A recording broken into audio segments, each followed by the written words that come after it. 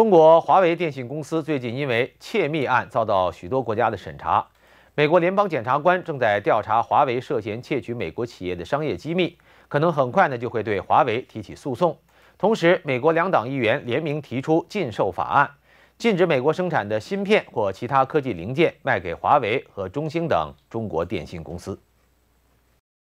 《华尔街日报》十六号报道，据知情人士透露。美国联邦检方的刑事调查来自于多起针对华为的民事诉讼，其中一件可以追溯到2014年的官司。华盛顿州西区联邦地区法院陪审团认定，华为盗用美国电信商 T-Mobile 实验室的机器人技术。据了解，当时 T-Mobile 委托华为供应手机，也开发出一款测试机器人 Tappy 进行手机品管测试。合作期间，华为员工反复询问有关机器人的专有技术，并且未经许可进入实验室拍摄机器人，将 t 皮机密夹带出实验室。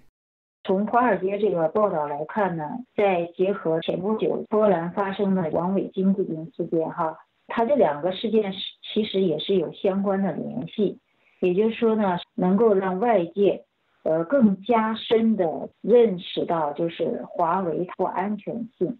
就它本身的这种间谍行为呢，是越来越落实了。华为是世界领先的智能手机制造商之一。美国国会和国家安全部门官员已经发现华为对美国构成安全威胁。尽管华为极力否认，但美国判断华为的技术可能被中共用来刺探美国公民和企业的信息。公司盗窃技术，你如果不不能具体的落实到。某一个个人身上的话，公司是很难承担刑事责任的，它可能会引起这个受害国政府的报复性措施，重大的罚款和这个惩罚性措施可能都会出现。旅美时事评论员邢天行表示，可以预测未来华为会采取各种行为来减少损失，因为中国福建晋华集成电路公司就是一个前车之鉴。这件事情呢，也可以联系到去年底发生的美国对于中国福建计华集成电路有限公司窃取美国美光科技公司的商业机密这件事情。那么他在起诉晋华之后呢，对于晋华就造成了一种致命性的打击。所以我想有潜力可见呢，对于呃华为来讲呢，它也是面临着更大的一种危机。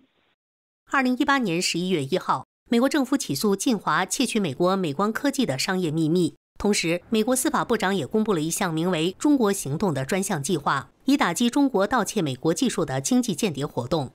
这个事情呢，和中国二零二五扯在一起的话，在这个大环境当中看的话，对美国来说，它不仅是一种经济的威胁，也是对美国的国家安全利益也构成了重大的挑战。怎么应对的话，就是要考验美国政治家、美国司法部门的这个政治智慧了。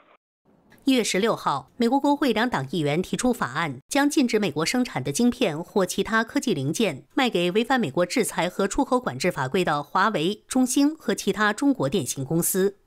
阿肯色州联邦参议员科顿在声明中说：“华为是中共有力的情报资讯收集者，创始人兼首席运营官是人民解放军的工程师。”科顿还说。中国电信公司如果像华为一样违反了美国制裁或出口管制法规，他们都应该受到等同于死刑的拒绝令。